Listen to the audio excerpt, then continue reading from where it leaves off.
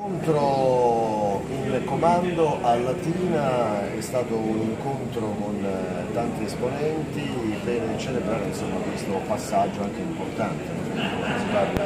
di carriera al servizio dei cittadini. Sì, è un traguardo importante per me, però è un, come dire, una scusa per stare insieme a voi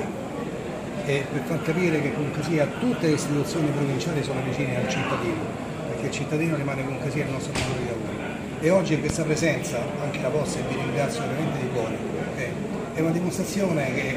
la provincia di Latina è molto unita, è molto unita con, con, voi, con tutte le istituzioni e con le famiglie che qui, qui accanto a me.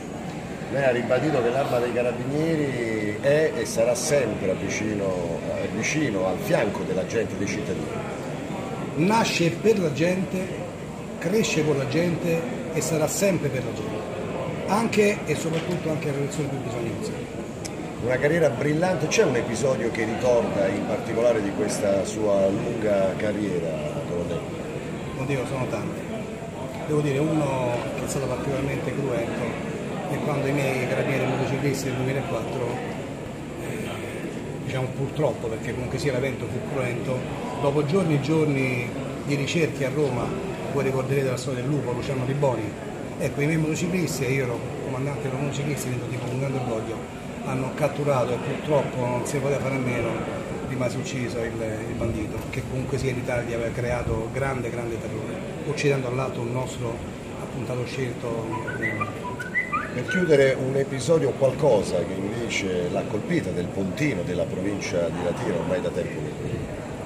Ma io devo dire, c'è una grande professionalità, questo l'ho trovato dappertutto e devo dire la cosa più importante per me che sono uomo delle istituzioni, un uomo che sono motivato, lo sento veramente, lo dico ci tengo a dirlo nel profondo del cuore, ho trovato tanta motivazione tra tutti quanti i funzionari qua della, della provincia di Montiero e questa è una cosa più importante ed è una garanzia per il cittadino, perché qui c'è gente che ha voglia di lavorare e lavora veramente col sano desiderio di essere vicino alla popolazione. Bravo!